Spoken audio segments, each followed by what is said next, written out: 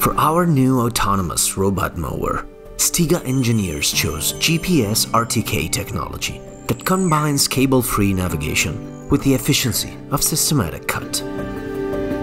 GPS RTK works perfectly on open fields. But what about real domestic gardens in which walls, trees, and hedges could weaken the signal? Domestic gardens, Stiga developed a new patented technology that, together with GPS RTK, actively maps each area of the lawn.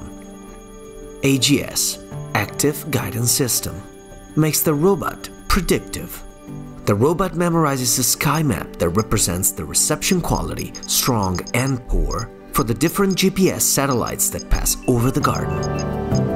With all of this data always up to date, the Stiga autonomous robot can map the whole garden cells and literally look into the future on signal quality around the garden at different times of the day.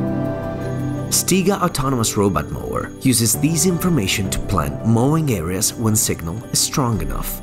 By planning ahead, the robot grants full coverage, being aware of garden elements around it. Nurturing a healthier lawn and healthier lawn time.